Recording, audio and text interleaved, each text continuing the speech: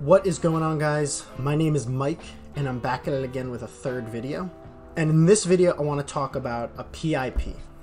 Or I should have said first, a performance improvement plan. So I want to talk about what is a performance improvement plan, what does it mean for your career, and then I'm going to talk about my experience with a performance improvement plan. So what is a PIP exactly? A PIP is a document laying out an employee's lack of performance and requirements needed for that employee to keep their job. So you'll also see in a PIP a time frame needed to address these areas of performance. This could be 3 4 weeks, 60 days, 90 days, it could be whatever. So what does getting a PIP mean for you? So I think the most important thing when you first get a PIP is understand it's time for you to get a new job or better worded, it's time for you to start looking for a new job.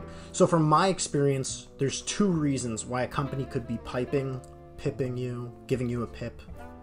There's a whole assortment of terms you can use for it, but there's two main reasons.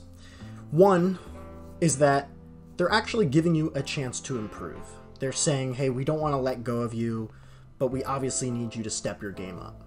I think this is the less likely case, but the second is they need an argument to fire you.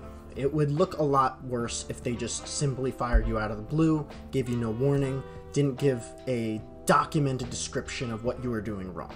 This is more likely the case. When you receive a PIP, you also have to sign it. So you have to show that you are in agreement with everything in this document, or at least you're in agreement that you need to improve in order to stay with the company. It's sort of a way of showing that on both parties there was an agreement and there was no shady business going here, or in other words, there's nothing that was surprising to the employee when it comes time to terminate the employment of said employee. But another thing to think about is your reputation at the company afterwards. How do you know who knows about your PIP? You can make a safe assumption that your managers know because they're probably the ones who gave gave the PIP to you. They probably talked about it with other managers, other seniors at your company or your team. When it comes down to your reputation, that could be important when it comes down to being piped, pipped.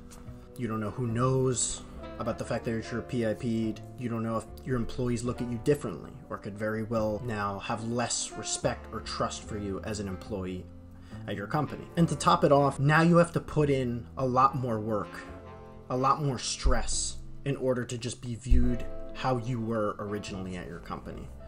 The company expects you to really be at your top game, but for now they have suspicions. They're on to you, they're watching you. For me, and I think many others, that's a very uncomfortable position to be in. But I understand there are some people who really need jobs at their company, and maybe it might be time for them to put the pedal to the metal. But it's important you understand where you're at with your company. Now, let's say you know exactly where your company is going to take you with your PIP. Uh, you don't anticipate being at your job for that much longer. Well, then what do you do? Well, I'll definitely tell you this do not quit.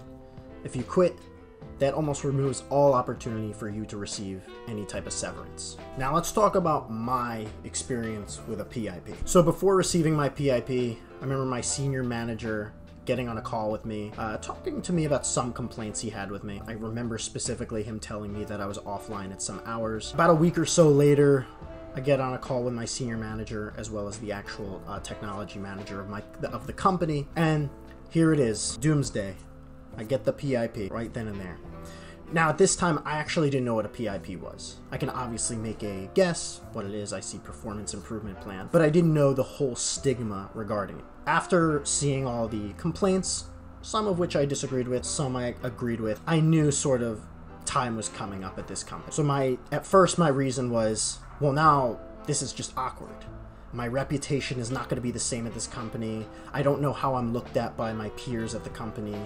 Um, and now I just have to work extra just to be regarded as equal as everyone else. But then I actually went and talked to my friends about it, and they actually told me about all the stigma regarding PIPs, how PIPs, it very well be the company is looking for a reason to fire you.